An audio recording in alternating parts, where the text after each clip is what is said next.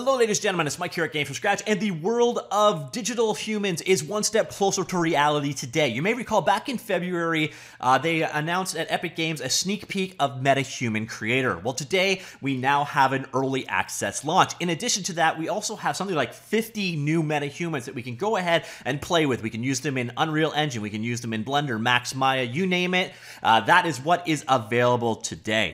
First, however, we have a quick word from the sponsor of this video, Deep Motion. Now, Deep Motion makes a product called Animate 3D. If you're a regular this channel, you may have already seen it. I covered it back in December. It's an excellent uh, service that enables you to upload to their website and have your video turned into an animation. A single video, no multiple references, just one video, and it can actually create a full 3D animation. You can export that out as FBX to use in your own game engine, also BVH, GLB, or MP4. It's updated constantly, so since I did that video in December, there have been a number number of different updates, and one of the biggest updates is the new avatar generator. So you can actually create your own 3D characters, up to 200 customization objects that you apply your animations to. It is completely free to use, up to 60 seconds. You can get a lot of animations out of 60 seconds a month, but even better, use my code down below, Game From Scratch, and you get double that when you sign up. Also, there is a contest going on, runs through April the 30th, so we can win thousands in cash and prizes just by creating animation, no purchase necessary. So check out the links down below. All right, let's continue on.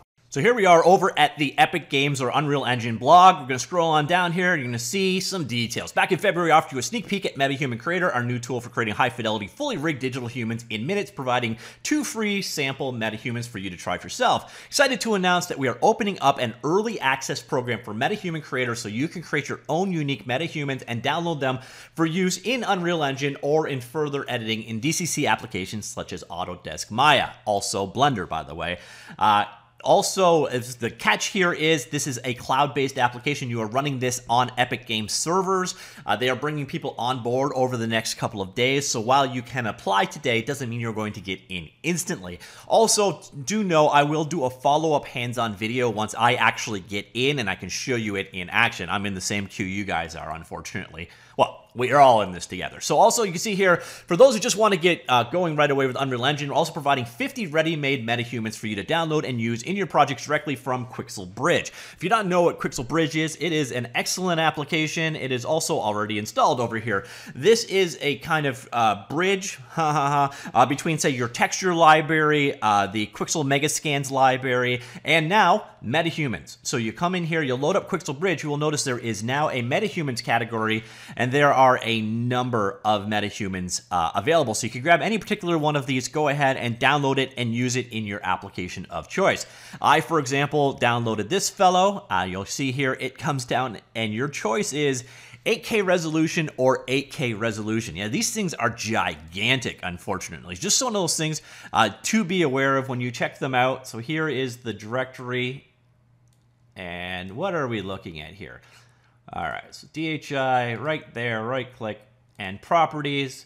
Yeah, two gigabytes a piece. so just one of those things to be aware of. Uh, they are a rather sizable download, but if you've got it ready to go, uh, you can pull it out into uh, MetaHuman Creators if you are in that program for editing, or you can export these out. For example, you can see this one is currently exporting out to Unreal Engine. That is going to take forever to get up and going. There's going to be all the shaders and such it needs to handle, so we are not going to do that today. Just do be aware, right now, these are the MetaHumans that you can go ahead and play with. These things are fully rigged, ready to go. Uh, in the, the initial uh, MetaHuman video, I looked at one of the two freebies that they gave you to play around with. They are incredibly high fidelity, uh, and as I said, fully rigged, fully ready for animation. So these are really, really capable humans. So uh, it, it's impressive. It's huge. Like I said, two gigabytes a piece, but you can bring them down using Bridge, and then you can export them out to your tool of choice. By the way, with Bridge, you can set up uh, several other tools for exporting.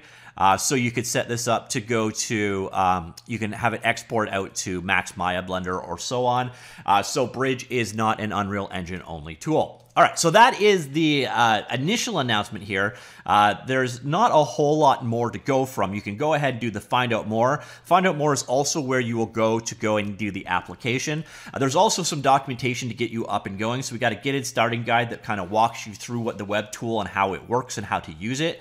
Uh, so if you do get into the program, there is documentation on how to work with it. It's actually a pretty straightforward setup. So you see here, it's broken down into categories. If you've used any character creator in the past, you've got an idea of what you are working with here. So you set up the skin, the face, the eye, the hair, and so on, the body, the tops, the bottom, the shoes, and uh, then it kind of creates your character. So uh, there is full documentation here. So once you're in, but you can see you get a huge amount of control over uh, hairstyles, body types, body styles. Uh, but it is, uh, from what I have seen, again, I'm not in there as of yet, but from what I've seen, it looks like a fairly simple to use program, but you can get a diverse amount enough of results that it doesn't look the same you know? It, doesn't look like uh, let's say the monstrosities you could create in like fallout for example.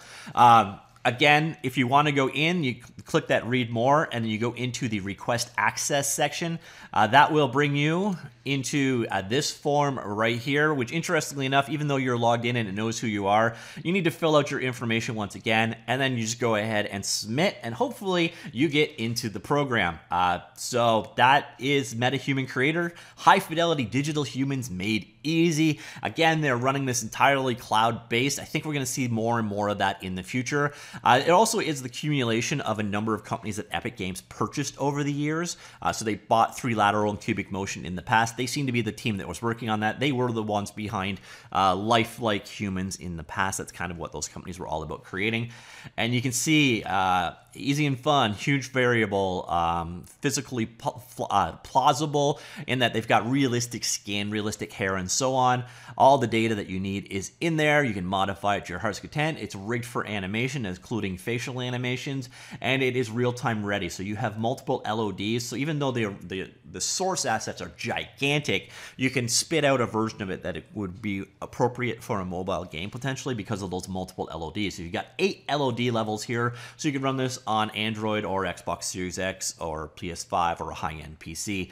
And as I mentioned earlier on, there are 50 ready-made metahumans already ready to go in Quixel Bridge. You do not need to get into the program to get access to this. Basically, just head on over to Bridge, uh, download it for free, log in with your Unreal um, user credentials, and you can start with any one of these guys. Basically, just pick one of them and then export it out to your tool of choice.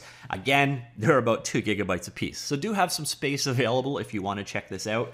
And also, again, stay tuned. Once I do get into the program, I will um, do a, more in-depth hands-on with it. Uh, we'll create a couple characters, give you an idea what it's all about.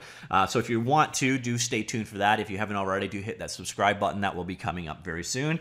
And yeah, also uh, thank you for uh, Deep Motion for sponsoring this video. It's very much appreciated. Check them out. They're an awesome, awesome tool to check out as well. So you got all kinds of great things to do today. All right, that's it. What do you think? Uh, do you think we've passed the uncanny valley here, or, or do you think they still look uh, digitally to you. I, I think we're there. I, I, think the Uncanny Valley, other than the only thing that's kind of getting me, and it's because they all have the same stares. There's a, a dead eye stare, and that's going to be one of the hardest things for digital humans to conquer. Uh, but when you see these actually moving, uh, it goes away. So is this there? Are, are we at lifelike humans here for real time games, or do we still have some steps to go? Let me know what you think. Comments down below, and I will talk to you all later. All right, that's it for now. Goodbye.